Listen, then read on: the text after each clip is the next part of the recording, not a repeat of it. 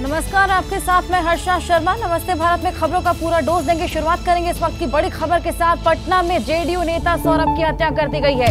गोली मारकर जेडीयू नेता की हत्या कर दी गई है। लोगों ने पटना गया मार्ग को जाम कर दिया है। शादी से लौटने के दौरान ये हत्या हुई है। आपको बताएँ कि गोली मारकर यहाँ पर जेडीयू नेता की हत्या की गई है और शादी से लौटते वक्त ये पूरी हत्या को अंजाम दिया गया।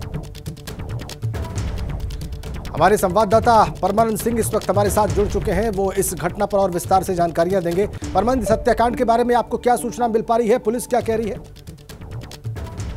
बता दें, ये घटना लगभग रात्रि सवा बारह बजे के आसपास की है जो सौरभ जेडीयू नेता से सौरभ कुमार शादी समारोह में बरैया कोल इलाके में पुनपुन में गए थे और वहाँ पे वह शादी समारोह से लौट रहे थे। उसी दौरान बाइक सवार दो अपराधियों ने उन्हें रोक कर गोली मार दी जिससे उनकी घटना, हालाँकि अस्पताल ले जाए कंका बागू में अस्पताल ले जाया गया जहाँ डॉक्टर ने मृत्यु कर दिया। इसके बाद सुबह में उनके जो स्थानीय लोग लोग हैं, जो गया पटना मार्ग को जाम कर दिए हैं, बता दें कि इसमें सौरभ कुमार के बारे में बताया जाता है कि ये ज़मीन के कारोबारी के साथ भी इनकी मिली भगत रहती थी, ज़मीन कारोबार से भी ये जुड़े हुए रहते थे।